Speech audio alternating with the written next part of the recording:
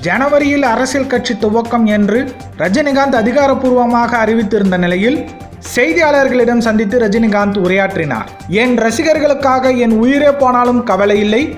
கொடுத்த வாக்கில் இருந்து நான் என்றைக்கும் மாற மாட்டேன். டிசம்பர் ரெண்டாயிரத்தி பதினேழில் அரசியலுக்கு வருவது உறுதி என கூறியிருந்தேன். தேர்தலில் தோல்வி அடைந்தாலும் அது மக்களின் தோல்வியாகவே இருக்கும். தேர்தலில் நான் வென்றாலும் அது மக்களுக்கான வெற்றியாகவே இருக்கும். தமிழகத்தின் தலையெழுத்தை மாற்ற வேண்டிய நாள் வந்துவிட்டது. நோய் எதிர்ப்பு சக்தி குறைவாக இருப்பதால் சுற்றுப்பயணம் செய்வதில் ஆபத்து என மருத்துவர்கள் அறிவுறுத்தினர்.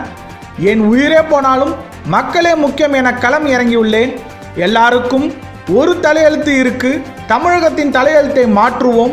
சிறுநீரக மாற்று அறுவை சிகிச்சை செய்து உள்ளதால் கொரோனா காலம் என்பதால் நோய் தொற்று அபாயம் இருப்பதால் தமிழகத்தில் நான் சுற்றுப்பயணம் செய்ய மாட்டேன். ரஜினி மக்கள் மன்றத்தின் மேல் பார்வையாக தமிழ் அறிவியமணியனை நியமனம் செய்கிறேன். சாதி மத சார்பற்ற ஆன்மீக அரசியல் உருவாகுவது நிச்சயம் அற்புதம் அதிசயம் நிகழும்.